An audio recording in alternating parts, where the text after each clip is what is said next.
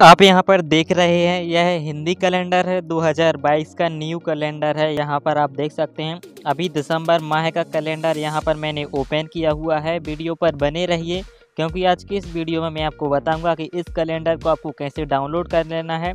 अपने ही मोबाइल से इसे आप सिंपली प्ले स्टोर पर जाके डाउनलोड कर सकते हैं। यहाँ पर आप देख सकते हैं, यहाँ पर तारीख बिल्कुल हिंदी में दी हुई है। यहाँ पर आप राशिफल और छुट्टियाँ जो भी है, सारी ही चीज़ें यहाँ पर आप देख सकते हैं। सूर्य ग्रहण, चंद्र ग्रहण भी यहाँ पर आप देख सकते हैं।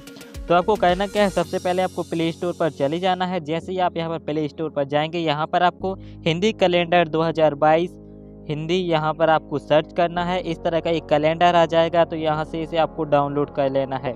जैसे ही आप इसे डाउनलोड करेंगे, कुछ इस तरह से आपके मोबाइल में ओपन हो जाएगा। यहाँ पर जनवरी, फरवरी, मार्च, अप्रैल, यहाँ पर सारे ही मंथ आपको दिखाई देंगे। जैसे कि यहाँ पर अभी दिसंबर है तो हम दिसंबर को ओपन कर लेते हैं।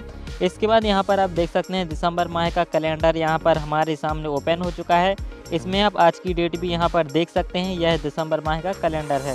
तो चलिए हम इसे बैक करते हैं, इसके बाद और भी चीज़ें हैं इसमें दिखाते हैं।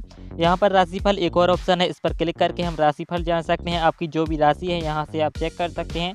राशियाँ भी यहाँ पर बहुत अच्छी दी हुई हैं, आप देख सकते हैं। चलिए और यहाँ पर हम बैक करते हैं।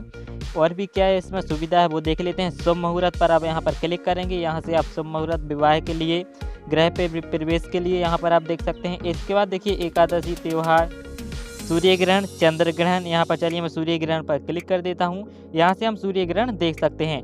तो यहाँ पर आशा करता हूँ आपको यह वीडियो पसंद आया होगा। वैसे यहाँ पर बहुत ही अच्छा कैलेंडर है।